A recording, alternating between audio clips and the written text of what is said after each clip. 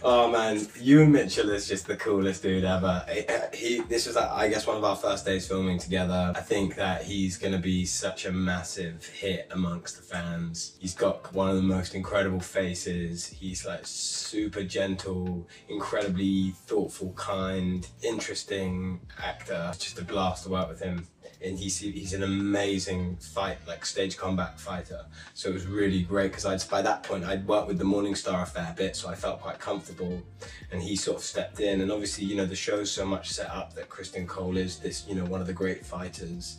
And sort of Ewan to come forward and be so uh, game to step into this and like I don't know he's really talented